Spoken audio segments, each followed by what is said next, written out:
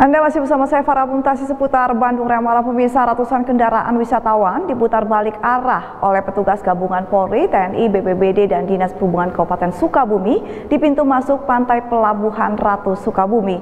Terdapat 6 pos checkpoint untuk mengantisipasi masuknya kendaraan yang akan berkunjung ke sejumlah titik lokasi wisata di Kabupaten Sukabumi.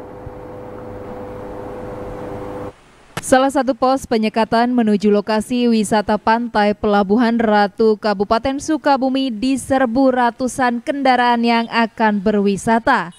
Petugas gabungan TNI, Polri, BPBD dan Dinas Perhubungan Kabupaten Sukabumi mencatat 450 kendaraan lebih diputar balik arah ke daerah asal karena bertujuan berkunjung ke sejumlah objek wisata di Pelabuhan Ratu Sukabumi.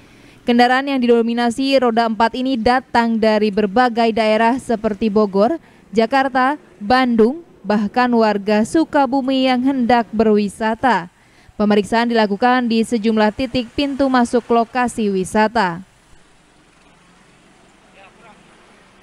Kanit Regiden Satlantas Polres Sukabumi Ibtu Arta Dwi Kusuma mengungkapkan sebanyak 450 kendaraan yang akan berwisata ini diputar arah balik ke daerah asal. Larangan kunjungan dilakukan untuk mencegah penyebaran wabah virus corona yang berpotensi penularannya di lokasi wisata. Kendaraan yang kita putar balikan hingga saat ini dari mulai jam 8 pagi sampai jam 2 kita sudah memutar balikan roda 2 dan roda 4 sekitar 450 kendaraan. Nah, kita balikan dari arah semula yang tadinya dari masuk ke Pelabuhan Ratu kita keluarkan dari Pelabuhan Ratu. Di tengah pandemi COVID-19, tingkat kedisiplinan dan kesadaran masyarakat masih rendah. Selain masih banyaknya warga yang tidak menggunakan masker, himbauan untuk tidak mengunjungi tempat berkerumun dan menahan diri di rumah, serta menjaga protokol kesehatan belum sepenuhnya dilakukan oleh masyarakat.